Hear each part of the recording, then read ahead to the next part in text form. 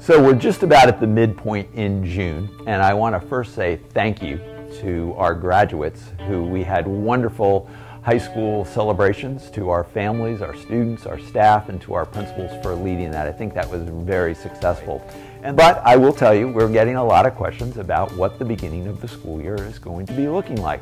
And I think our priorities are going to align with we want to see students back in school, but we want to make sure that they're safe and we keep them healthy along with our staff and our families in our community.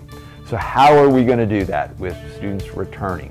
Well, I want to let you know we have a group out there that has been working diligently since about the middle of May in planning what these scenarios could possibly look like given uh, what's happening in our community with the pandemic.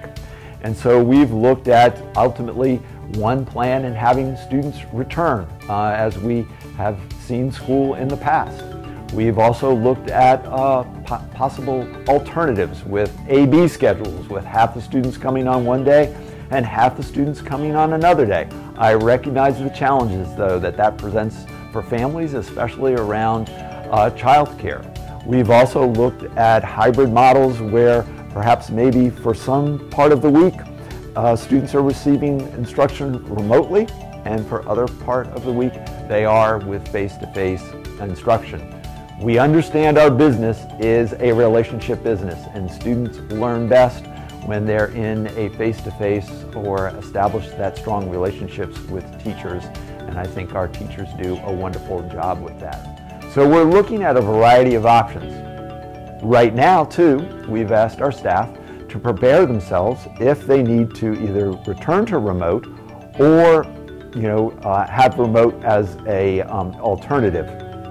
And so I want to congratulate our teachers. We've got over 400 right now who are participating in learning how uh, to strengthen their skills for teaching online.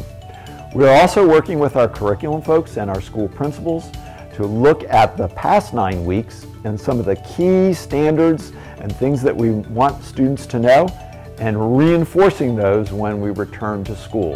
So there's a host of work that's going on.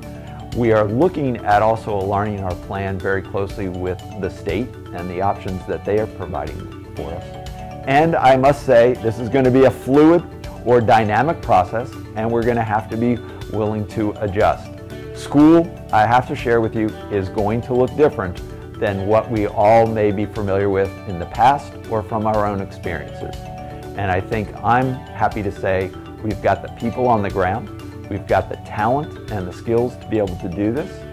And we want to work with families and we also want to work with students in accomplishing that. I'll be back.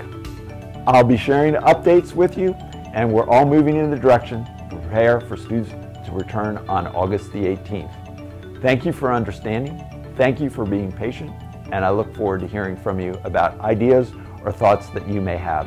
Ultimately, we want the students to be part of Berkeley County today and in moving forward because of the wonderful things that we do in preparing them for life.